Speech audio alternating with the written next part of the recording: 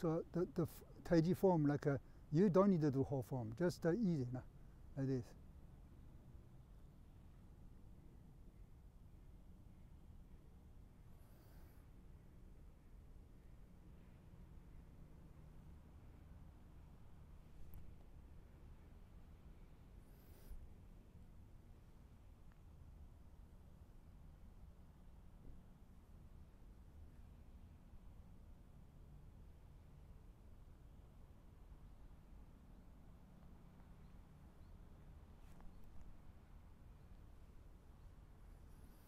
This movement, I always say, is test all the Taiji masters.